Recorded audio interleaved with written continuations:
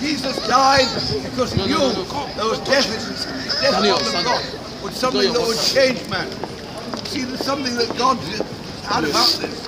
He said, if man knows the love of God, so too he'll come to know righteousness and truth. See, the righteousness of God is this, that we come to him in all simplicity of faith and say, Lord, be merciful to me, the sinner that I am. I'm a sinner. I'm a sinner because I know I need the righteousness of God beyond all question. I need to know a righteous God in my life and being. I need to know the quickening of the eternal God in my being. This is why Jesus came. We might be cut off from the Spirit. We might know again the joy and the passion of the eternal God. God died that we should be forgiven. Not we should pass by. Not we should be under the other side. But we should know Him. And knowing Him, know righteousness and truth. The truth of God is this. If you put your trust in Him, He'll bring you to eternal life. That's why He came. He said, our lives are but a life of death. A life of going down into death. All sorts of things will bring us down into death. But God came to us in Jesus Christ. That we know by the Spirit we might know that eternal life that was not meant to be us. You know, it is true that Jesus said, sin shall not have dominion over you. Why did he say that? Because it cost, said to you, you can know the place, but sin should not have dominion over you. In Jesus Christ, you become to know that place where you've got forgiveness in Jesus Christ. You've got forgiveness in him. Why? Because he came. He came the bearer of love. He came because he was the, the king of love. The king of love, my shepherd is. Goodness never faileth. Jesus came that we might know that goodness and know the goodness of God towards us. We are condemned because we don't know Jesus. Not because not knowing Jesus is the important issue.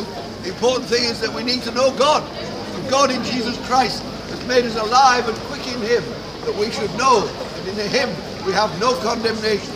Why?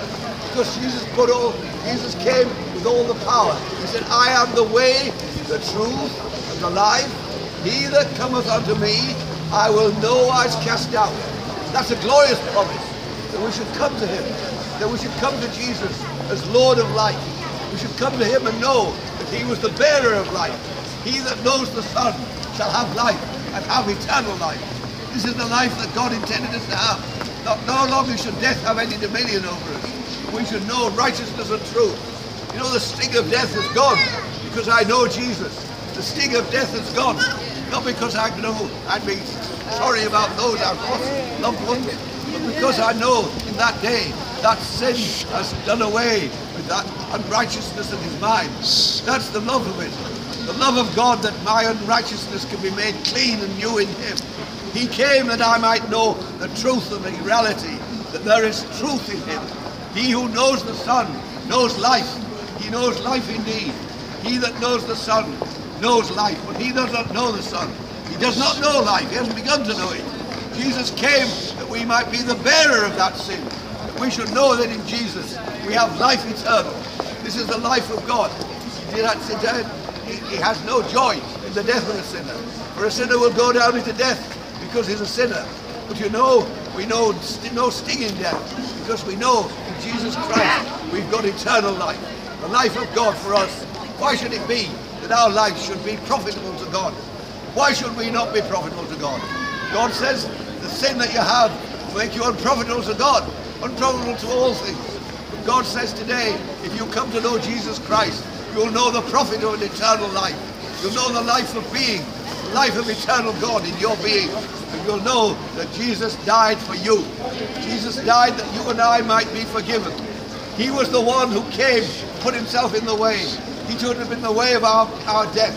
He put himself in the way of, of our emptiness. He put in ourselves in the way of the things that are against us. He said, sin shall not have dominion over you. Why? Because Jesus came. He came that we should no longer be the servants of, of, of, of sin, but we shall be alive and quick in God. And that's going to be a tremendous thing for God to do. Yes, God desires not the death of a sinner, but he longs that we know righteousness and truth in him. And this is the truth we shall know. We shall know goodness, grace and favor, the love of God towards us, the love of God towards my fellow beings, the love of God for those who come to him will know righteousness and truth forevermore. Jesus died so faithfully. He said, I will go down into the grave. but the third day I will rise again. Why did he rise again? It was for me he rose again. He could have gone on to eternal life without me. But he knows that in me I needed that. I needed that uh, assurance that there was life forevermore in him who believes. He believes in Jesus, knows righteousness and truth. Not because of who he is, because he begins to know goodness of God, goodness of God towards us. Begin to know the goodness of God has turned us away from our sin, turned us away from the things that are unprofitable, and make us to know the profit of God, which is eternal life to him that believes. If you know Jesus, you begin to know him. You know him as your Lord and Saviour. You're so glad about it. You're so glad that he came, that you should know just that, that you have trusted him, you can trust one who is the Holy One, the Holy One of God. And Lord, you said to me, the sinner that I am, I can turn me round. You can make me to know righteousness and truth beyond my understanding. I'm so glad that I've got things in store for me because God has given me life eternal. I know it because I've received it. I've received his son. I've received him as the order of my life. I know that this is the Lord of God, the King of glory. And I know that King is my King. I'm so glad that I can be subject to him. Oh yes, I shall know sin. Sin comes back to me so easily. I find an acquaintance with it. But I know in Jesus Christ I'm being won from it by his grace. I'm being won to know life eternal. I put my faith in the one who is the living one, the eternal one, the one who brings life to him that believes. And as we know Jesus, so we begin to know life for ourselves, the life of God that comes. I knew him. I knew him in all sorts of ways. I knew there was something different in the way in which I received him at different times. I know that I know more about him than I knew in the beginning of my days. I'm 87 now, but I'm still going on in the grace of God. I still know the righteousness of God. I still long for it. I long for the peace and the wonder of God. I long that his peace will be upon all men, and we might see again a world that is rich in God. And God will be able to say, I no, no longer say, I never knew you. I never knew you. Why could God say that to you? You are children of God. You are the ones who have been born of the Spirit. No, he can't say that to you. When you be born of the Spirit, you'll know God for all eternity. You'll know righteousness and truth. You'll know the truth of Jesus Christ is for you. Not a righteousness that condemns you, but a righteousness that embraces you in life. Makes you to know the life of God for yourself. To know this is the one who has brought life to me, life to you, the love of God. That you might be blessed this day. There are those who are faithfully giving forth the word. It's the word of God. When you know Jesus, you know his life, you know his being. You know this is the one in whom you can put your trust. It's so wonderful to say, this is the faithful one. Faithful God.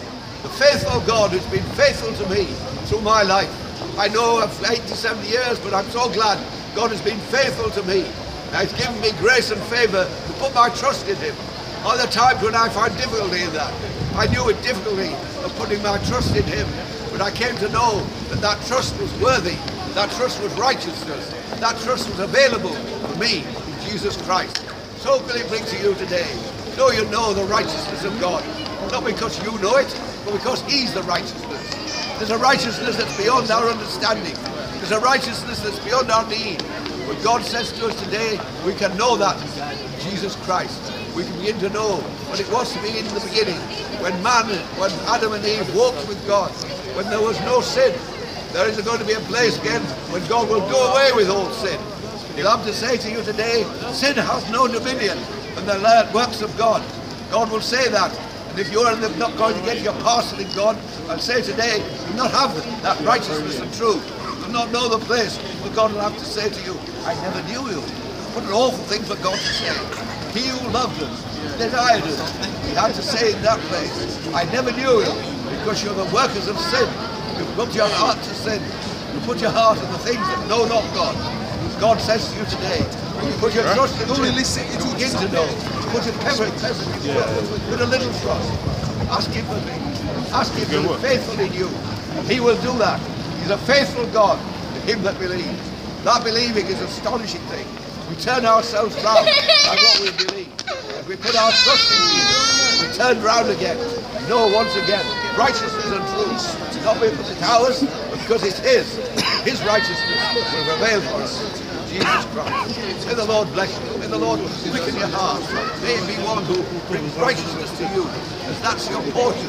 He knows that you righteousness, not the righteousness of your own, the righteousness of the Son of God.